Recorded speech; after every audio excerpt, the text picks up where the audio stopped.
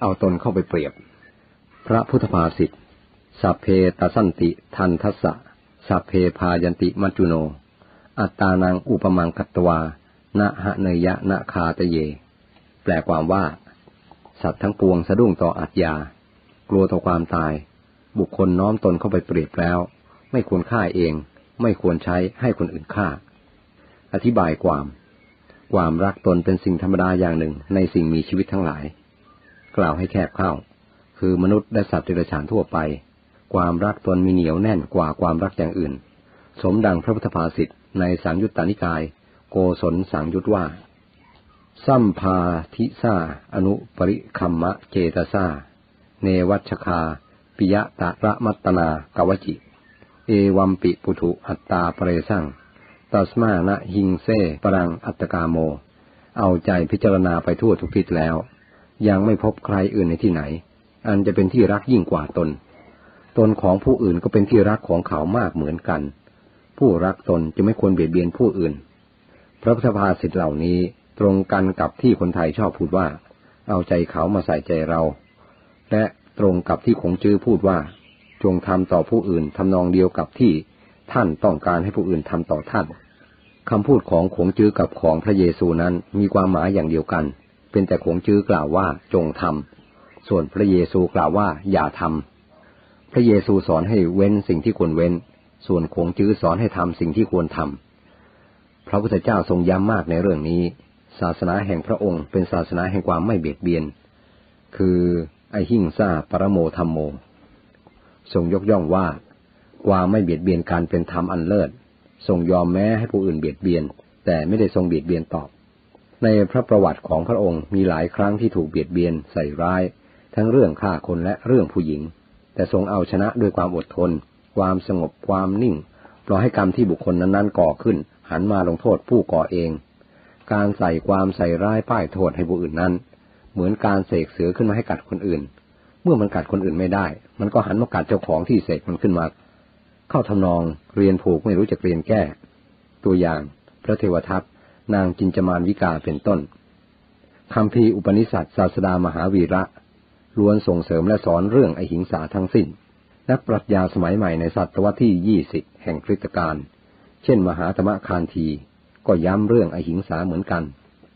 แต่คานทียอมให้ฆ่ายุงและสัตว์ร้ายที่ทำลายชีวิตคนได้ คานทีถือว่า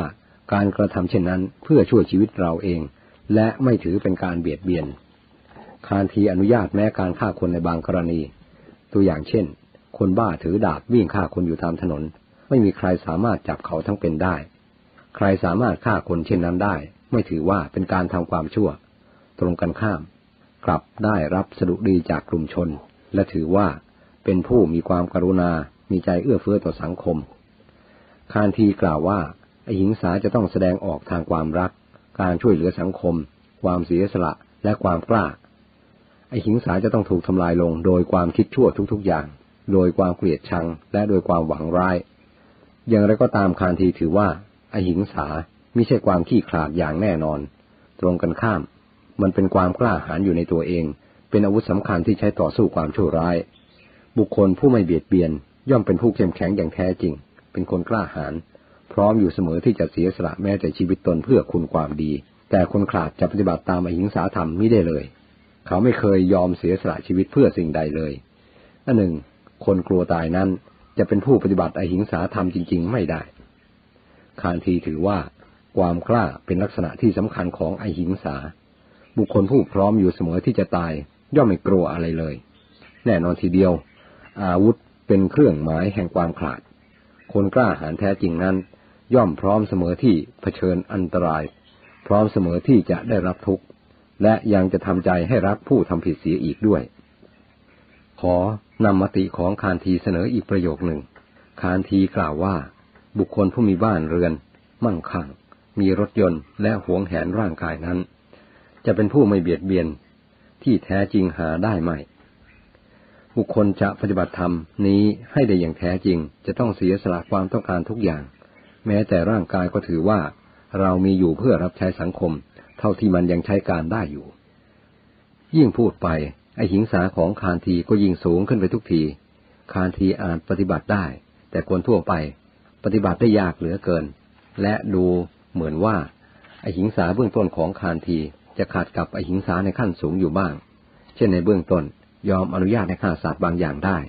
แต่ต่อมากล่าวอหิงสาสูงจนว่า บุคคลจะต้องยอมเสียสละทุกอย่าง แม้แต่ชีวิตของตนเพื่ออหิงสา อย่างไรก็ตามทำข้อนี้คือความไม่เบียดเบียนผู้อื่น นั้นได้รับการยกย่องในทุกศาสนา และแม้ในหมู่กัลยาณชนก็ถือว่า การไม่เบียดเบียนกันเป็นความดีของสังคม สังคมใดไม่มีการเบียดเบียนกัน สังคมนั้นย่อมมีความสงบสุข พระศาสดาตรัสพระภาสิทธินี้เมื่อประทับอยู่ที่เชตวนาราม เมืองสาวัตถี ทรงปรารบภิกษุฉับพักคี ซึ่งแปลว่าพวกหกคน มีเรื่องย่อดังนี้ ในสมัยหนึ่ง ภิกษุสัตตรสพักคี คือภิกษุพวกสิบเจ็ดคน ซ่อมแซมเสนาชนะเพื่ออยู่อาศัยเอง แต่เมื่อซ่อมเสร็จแล้ว พวกภิกษุฉับพักคีคือพวกหกคน ไล่ให้พวกสิบเจ็ดออกจากเสนาสนะ อ้างว่า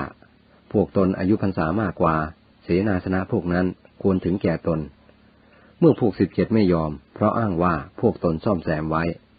พวกหกจึงตีพวกสิบเจ็ด พวกสิบเจ็ดร้องไห้ลั่นวิหาร พระศาสดาทรงทราบเรื่องนี้แล้ว ตรัสโอวาทภิกษุพวกหกว่า ธรรมดาภิกษุไม่ควรทำอย่างนั้น ภิกษุใดทำคือตีกันเป็นอาบัติปาจิตตีอย่างนี้แล้วทรงบัญญัติปหานทานสิกขาบท คือข้อห้ามการประหารกัน แล้วทรงประทานพระโอวาทต่อไปว่า ภิกษุทั้งหลาย เราย่อมหวาดวันต่ออาทยา ย่อมกลัวต่อความตายชั้นใด แม้สัตว์เหล่าอื่นก็เหมือนกัน ย่อมกลัวต่ออาทยา กลัวต่อความตาย รู้ดังนี้แล้วไม่ควรฆ่าเอง และไม่ควรใช้ให้ผู้อื่นฆ่า ดังนี้แล้วทรงแสดงธรรมต่อไปด้วยพระคาถาว่า สัพเพตะสันติทันทสะเป็นอาทิ มีนัยยะดังพรรณนามาแล้วแต่ต้น พระอัฏฐกถาจารย์กล่าวว่าคำว่าสัตว์ทั้งปวงย่อมกลัวต่อความตายนั้น หมายเอาสัตว์ทั่วไป ยกเว้นสี่พวกคือหนึ่งช้างอาชาในสองม้าอาชาในสามโคอุสุภราชสี่พระขีนาศพสัตว์สามพวกแรกไม่กลัวตาย เพราะมีสกายทิฐิจัดคือมีความทนงตนจัด ส่วนพระขีณาสพไม่กลัวตาย เพราะละสกกายทิฐิได้แล้วไม่มีความทนงตนเลย